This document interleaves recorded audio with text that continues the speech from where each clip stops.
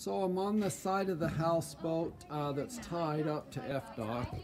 You see you line up the front cleat to uh,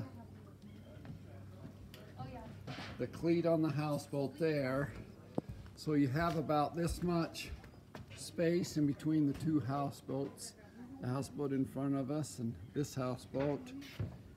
Again, you kind of line it up right to where the power is that. But the, the main thing you do is you line up these this front cleat tying off there. The middle cleat, we tie it off as well, like that, with a longer rope to the two cleats. And then the back cleat is also lined up right with the back cleat.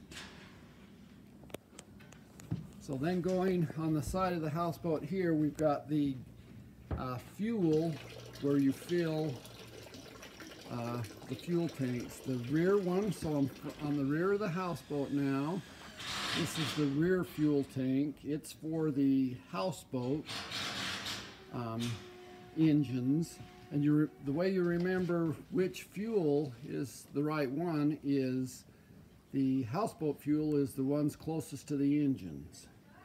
And then up here further towards the front of the houseboat, we have another gas fill, and that's for the play tank. And we'll show you how to take gas out of the play tank in another video.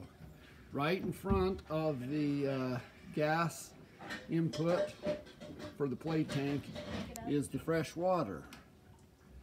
And so you just take that cap off.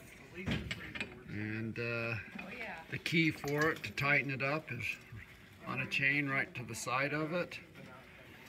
And that's where you fill the fresh water with the hose. Now this hose that we connect up to our um, water this is fresh water drinking water.